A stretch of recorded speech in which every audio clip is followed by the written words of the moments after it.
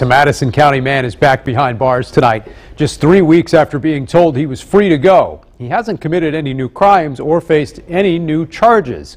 So Fox 59's Russ McQuaid spent the day finding out exactly how this might have happened. Russ?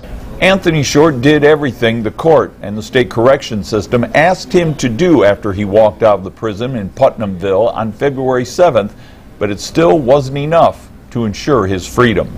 A few years ago, Anthony Short was a thief and was sentenced to six years in the Department of Correction because of it. Unfortunately, um, at the time, um, I was pretty strung out on drugs.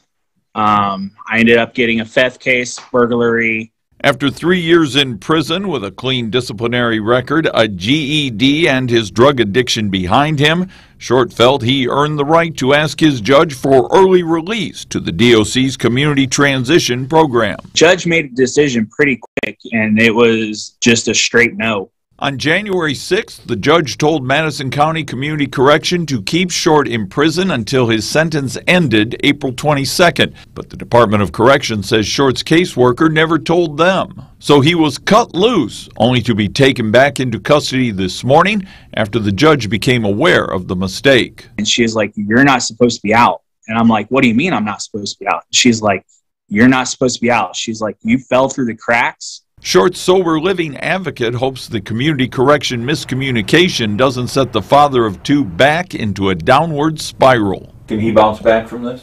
I believe he can. I believe his mindset, at least with speaking to him uh, yesterday and all the men in my program, you know, rallying behind him and saying, look, you got this, just come back. I believe he can.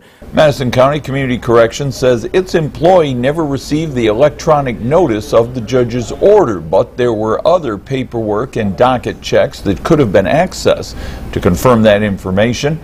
The director, David Kane, tells me he's looking at some procedural changes to follow up on those issues. In the newsroom, Russ McQuaid, Fox 59 News.